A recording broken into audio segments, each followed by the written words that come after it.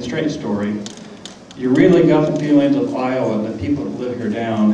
And um, I really appreciate, uh, I just watched it over and over and over again, and the attention to detail is impeccable.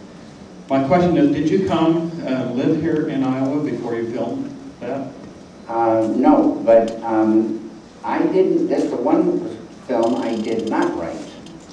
And um, at the time, I was uh, going with girl named Mary Sweeney. And she had a friend from early, from the from kindergarten on, uh, named John Roach. And they grew up in Madison, Wisconsin. And Madison, Wisconsin, same kind of feel as here in Iowa, same kind of feeling. I uh, lived in, uh, uh, in Madison uh, in the summers uh, on the lake there and uh, got the, the drift of the place and the people and a feeling in that, in, by, by being there. But when uh, Mary was working on this uh, script and talking all the time about it, I had zero interest in it. Zero.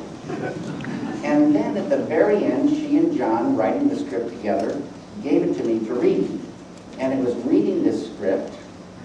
A script, I say, is organized ideas.